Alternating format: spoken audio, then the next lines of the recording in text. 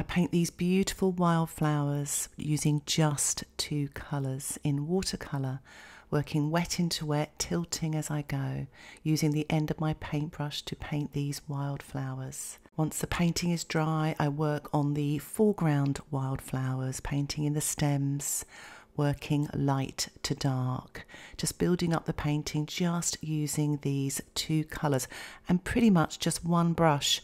I'm using a size 4 round brush. And here is the finished painting. If you would like to get access to the real-time tutorial, it is available on my Patreon membership. See description for details. Thanks for watching. Bye for now.